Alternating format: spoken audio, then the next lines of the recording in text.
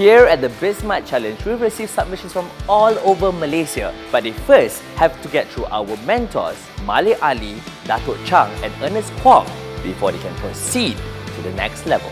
Personally, I would like to emphasize the enthusiasm of the entrepreneurs, how they come on, how they started their business, okay, and how they're going to scale their business in the future.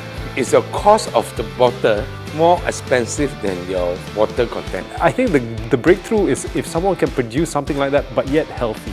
What you find as an entrepreneur is that you're selling all the time. You're selling yourself as a person to investors to raise money, you're selling to get your first customers. So confidence is everything.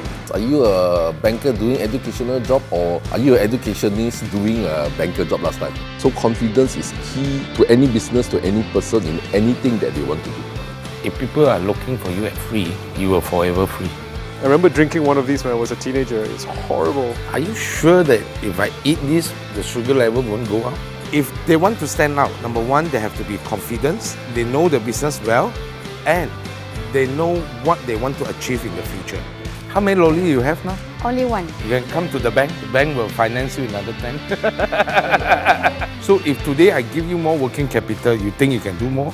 Is there something missing different between their formula and your formula that like they're so confident? It's still very early stage. Right now the, the business idea is important. Is it, you know, is it viable? Is it realistic? Is it a healthier version of an of an ice cream bar? How do you you know defend yourself against a big company coming in and copying your idea?